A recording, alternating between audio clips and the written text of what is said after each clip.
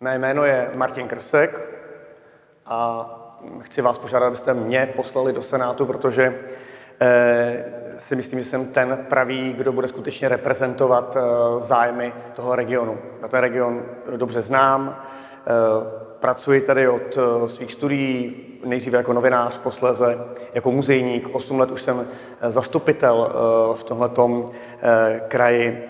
Eh, skutečně se pohybuji eh, v širokém spektru eh, obyvatel našeho okresu, ať už z hlediska tedy sociálního či věkového. Například učím na univerzitě třetího věku, takže skutečně mluvím se všemi lidmi a znám problémy konkrétní, ale hlavně znám problémy toho regionu.